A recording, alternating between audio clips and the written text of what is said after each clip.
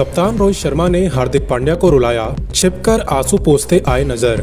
जाने क्या है पूरा मामला? टी ट्वेंटी वर्ल्ड कप में विश्व विजेता बनकर लौटी टीम इंडिया का मुंबई के वांगखेड़े स्टेडियम में जो जोरदार स्वागत हुआ, उसकी भव्यता भुलाई नहीं जा सकेगी। खिलाड़ियों पर फैंस ने जमकर प्यार लुटाया और इस दौरान जब कैप्टन रोहित शर्मा ने स्पीच दी तो इससे कई खिलाड़ी भावुक हो गए, बल्कि हरफन मौला खिलाड़ी हार्दिक पांड्या की तो आँखें भर आई। उन्हें अपने आँसू छिपाते पोसते भी देखा गया। रोहित शर्मा ने विनिंग ट्रॉफी देशवासियों के नाम करते हुए कहा कि ये ट्रॉफी हमारे लिए नहीं है, बल्कि सभी देशवासियों के लिए है। जब डेविड मिलर ने हार्दिक पांड्या की गेंद पर शॉट लगाया तो मुझे लगा कि तेज हवा के कारण सिक्स चला जाएगा। लेकिन यह सब किस्मत में लिखा था। अंत में सूर्य कुमार यादव का कैच अविश्वसनीय रहा।